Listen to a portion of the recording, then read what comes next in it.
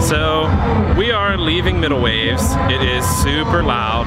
Not even sure this audio is going to turn out, but this is a really cool festival because we live in a fairly small town and it really kind of ups the game as far as music festivals go, the music scene uh, in our city. So we're pretty pumped. I went last year, got a cool t-shirt. This year we kind of just checked it out. Been a lot of fun.